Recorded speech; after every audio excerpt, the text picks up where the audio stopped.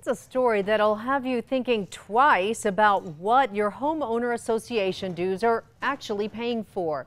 An Albuquerque HOA is now under police investigation after neighbors claimed one member stole from them for more than a decade. In a KRQE investigation, Ann Perret shares the neighborhood's frustration and why they think it went unnoticed for so long. So it's $600 even for every single one. So there wasn't even a time that she missed on a monthly basis. $600 paid monthly directly to the now former Homeowner Association president, signed by the now former Homeowner Association president. We're not naming the exact association located near I 40 and Juan Tabo or the former president to protect her identity because she hasn't been charged with a crime. And it says $10 per home. So I was like, what does that mean?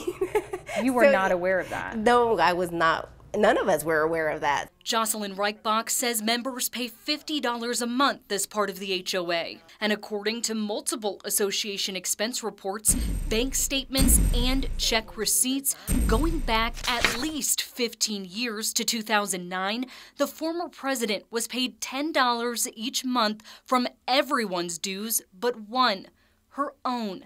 That's around $7,200 a year or 20% of the HOA's annual income. Now, neighbors want to know what that money was used for.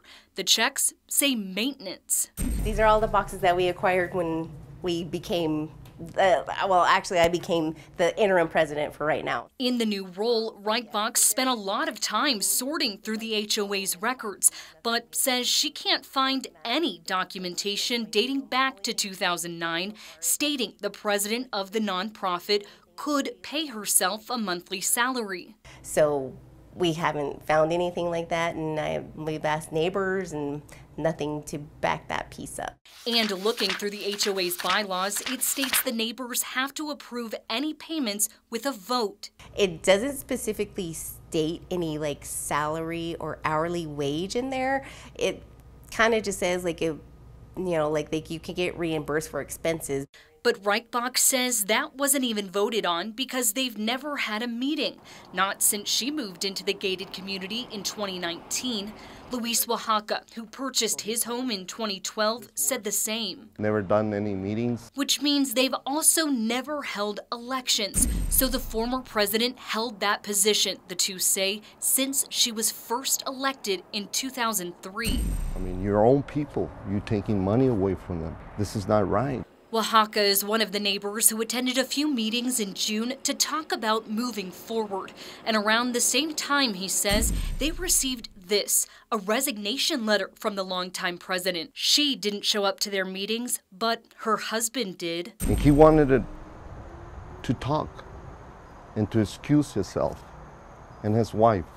And I said, I'm not going to let that happen here in front of all these people. You know? Oaxaca says he started recording this video when the interaction got heated, with the husband telling them some people knew about the payments. They're not here today because um, they just haven't. But in all honesty, we felt that the, the amount of work that we were putting into that, uh, the time and effort, we were putting 40 to 50 hours a month into it. Well, I filing liens against people who don't pay their dues on time by dealing with the courts and the lawyers, by going to the city back and forth. The same reasons shared with one neighbor in a September 2020 email from the HOA account. But to be fair, if you are paying yourself, that should be sent to everyone without people asking. I think that is fair. Agreed, and we never updated that, but there were people that been paid. I'm admitting the mistakes were made. Mistakes isn't a strong enough word for Reichbach. Do you think she committed a crime? I feel like she did. She filed a police report, and Albuquerque Police's organized crime unit is investigating. Reichbach also called the New Mexico Department of Justice and the Secretary of State, thinking they'd help her hold the now former president accountable. But she quickly learned there's no department in any local or state government office that oversees HOAs. So the neighborhood's only other recourse is paying for an attorney to sue. And I was just like, wow. you know, like there's like nobody who enforces anything about HOAs. So, you know what I mean? It's like basically a person can just get away with doing a lot of stuff if nobody's paying attention. Something she and Oaxaca never expected to deal with in their own neighborhood. Yeah, I know there's a lot of HOAs in Albuquerque.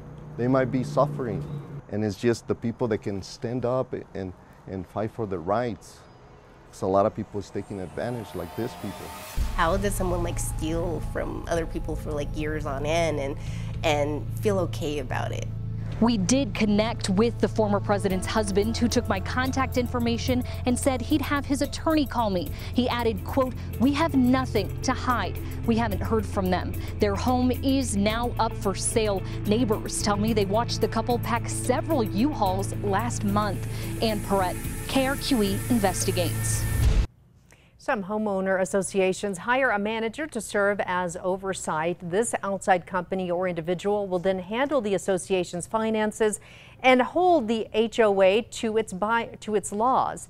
Reichbach says the neighborhood looked into this but decided it's too expensive for now.